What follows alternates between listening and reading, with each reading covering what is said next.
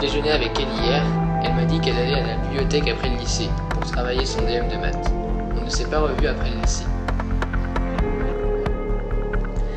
À 10h, quand le lycée nous a appelés, nous étions paniqués. Emma ne répondait pas aux SMS depuis la veille on pensait qu'elle bidait car on était un petit peu en froid. Emma était en forme hier au lycée. On avait un DM de maths à préparer. Elle m'a dit qu'elle rentrait chez elle pour travailler.